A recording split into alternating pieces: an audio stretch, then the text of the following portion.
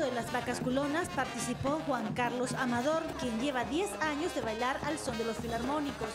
Es su promesa por el favor del milagro recibido como fue la sanación de su hija. Estaba bien grave, le pedí a Santo Domingo que me la sanara y gracias a Santo Domingo pues me la sanó. Y aquí año con año siempre bailo las vacas culonas. Hasta que me muera, ya. ¿Qué dice su hija esta promesa? Ya, y le gusta eso, lo que yo hago, lo que yo hice por ella, pues pedirle a Santo Domingo. Las ya tradicionales vacas culonas son una herencia familiar de los Orozcos. Este año el pequeño Roger también participó. Desde seis años comencé a bailar yo.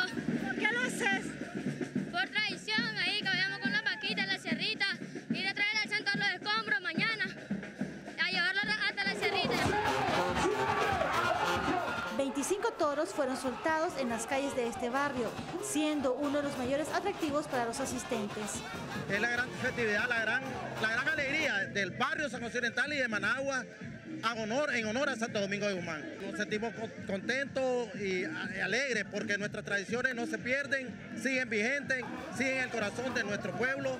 Luego de la corrida de toros, el público tradicionalmente disfruta de las presentaciones artísticas de grupos musicales nicaragüenses.